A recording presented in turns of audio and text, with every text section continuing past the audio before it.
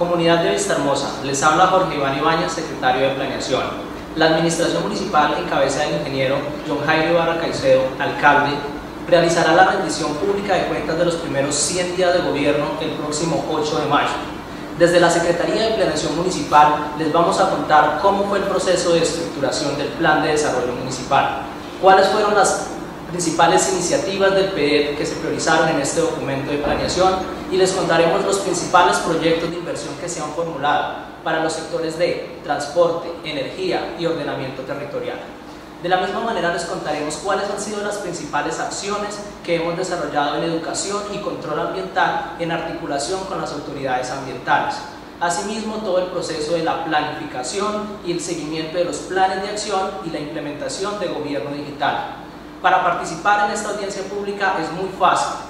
Desde el próximo 5 de mayo estará en la página web de la alcaldía el informe ejecutivo, el cual podrá ser consultado por toda la ciudadanía y de la misma manera un formulario de preguntas en línea para que realice las preguntas que usted considere sobre el informe de rendición o sobre los aspectos que considere mayor información en el marco de los primeros 100 días de gobierno.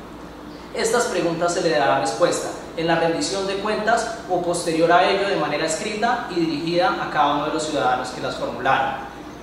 El próximo 8 de mayo sintonicemos la emisora del Ejército y la transmisión que se realizará por Facebook Live para poder hacer seguimiento a la gestión pública de la Administración Municipal. Recordemos, el diálogo ciudadano es una de las prioridades para nuestra Administración Municipal, especialmente para la gestión de las oportunidades para el desarrollo. gracias